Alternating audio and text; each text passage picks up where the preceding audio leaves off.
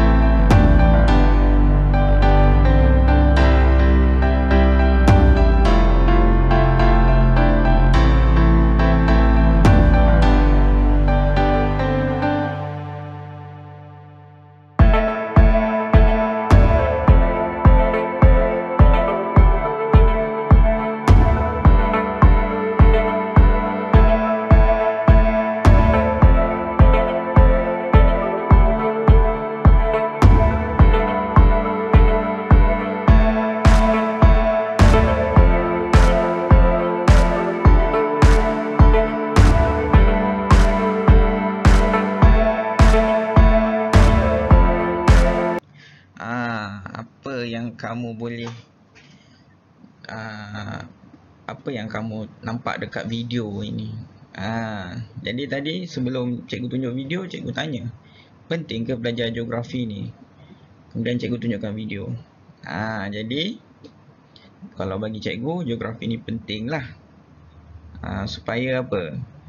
Uh, supaya kita dapat menjaga alam sekitar kita, supaya anak cucu kita dapat merasai nikmat apa yang kita rasakan sekarang. Kamu bayangkan, kalau kamu tak belajar geografi, apa yang akan jadi kemusnahan alam? Ha, kemusnahan alam ni disebabkan mungkin kurangnya kesedaran. Jadi dengan kita belajar geografi ni kita lebih sedarlah. Eh? Cikgu doakan nanti kalau kamu jadi pemimpin eh tolong jadi ahli politik ke jadi uh, tauke-tauke besar ke ha? kalau kamu nak untung sekalipun jangan jangan kita melibatkan alam sekitar ataupun jangan kita me mencemarkan alam sekitar ha. sebab kalau kita mencemarkan alam sekitar nanti generasi akan datang tidak dapat merasai seperti apa yang kita rasa hari ini. Kalau kita tengok dekat video tadi, apa punca banjir? Ha, kalau kamu belajar geografi, kamu tahulah apa punca banjir. Kalau kamu tak belajar geografi, nanti kamu akan salahkan hujan semata-mata. Ha, hujan semata-mata tak ada masalah sebenarnya. Ha, kita ni, ha, kalau kamu nampak Ah, ada kayu-kayu balak bertaburan atas jalan raya. Tiba-tiba ada kayu balak besar atas jalan raya hanyut di air banjir. Kalau kamu tengok air banjir warnanya warna teh tarik. Cikgu suka teh tarik. Aha. Okey. Walaupun teh tarik macam itu tapi tak boleh minum eh. Kalau teh tarik biasa tu boleh minum lah. Okey, apa yang cikgu nak sampaikan ialah kalau kamu belajar geografi, kamu tak akan salahkan hujan. Hujan tu rahmat sebenarnya. Kenapa kita nak salahkan hujan kan? Ha, jadi hujan tu rahmat. Apa yang cikgu nak cakap ialah manusia kita ni yang sebenarnya tangan tangan kita sebenarnya yang apa menyebabkan bencana alam ni. Ha, kalau pokok tak ditebang, insya-Allah ha, tak adanya berlaku banjir setiap tahun kalau kamu tengoklah ada negeri-negeri yang membalak eh untuk men mencari hasil negeri. Sebenarnya tak betul lah ada cara lain lagi untuk mencari hasil negeri. Yang sengsara siapa? Rakyat. Kita yang sengsara. Setiap tahun boleh banjir. Jadi dengan geografi ni kita boleh fikir apakah alternatif lain yang kita boleh cari untuk uh, mengekalkan kelestarian alam ini. Cikgu kamu sedarlah eh, pentingnya geografi ni. Geografi ni memanglah subjek elektif. Tapi sebenarnya kalau kita hayati geografi ni, uh, insya-Allah kita boleh okay, menjaga alam kita dengan semampan yang mungkin lah. Okey, baik. Jadi macam mana? Uh, penting tak geografi ni? Uh, So cikgu nak ubah persepsi kamu bahawa geografi ni sama juga penting macam subjek lain. Okey baik. Untuk format geografi, ah, ah kamu pakai format PT3 lah eh. Kamu pak kamu pakai format PT3 di mana Okey cikgu highlightkan. Ah kamu ada soalan penulisan ataupun bahagian bertulis dan kamu ada kajian lapangan okey di mana wajarannya eh, wajarannya kalau bertulis ni 80% 80 per 100 dan ditambah juga dengan 20% untuk kajian lapangan. Jadi kamu ada tugasan sebenarnya eh untuk geografinya ada tugasan kajian lapangan.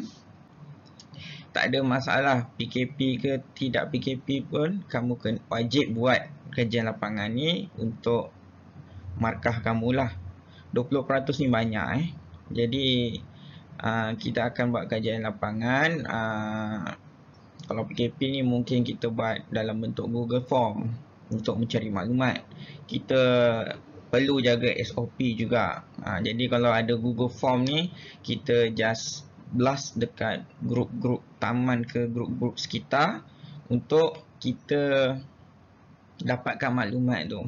Ha, kemudian kita proses maklumat tu, kita jadikan report lah. Okey. Baik. Itu bab kajian lapangan. Okey, kita ujian bertulis pula. Okey, sekarang ujian bertulis.